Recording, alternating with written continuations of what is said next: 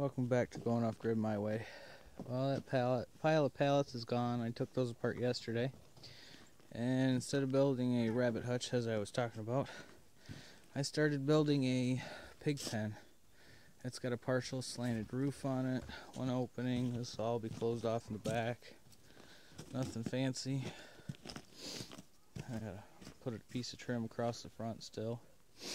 But yeah, I've been uh, burning through all the pallet material and everything else that I have around here. Anything left uh, by the original owners. There was something over there I took apart. I uh, closed this in. I closed that part in when we first moved in, but I just put this up so I can uh, put a door and secure this. I put some uh, braces up, hold some wood, built a thing, a shelf. Um, let's see what else did I do. I uh, got the goat house looking good. I haven't really done anything to it today. Need more materials. Found uh, the back end of a boat, partial outboard motor.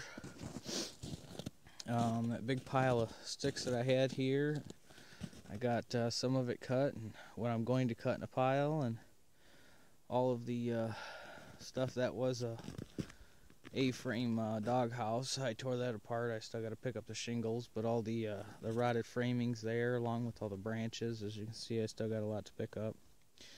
But uh, yeah, making progress slowly. Getting a little bit done here, a little bit done there.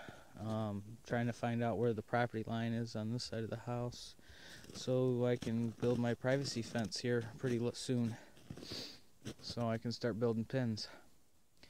So that's it for going off grid my way. Today's Thursday, and uh, hope you guys all have a good one.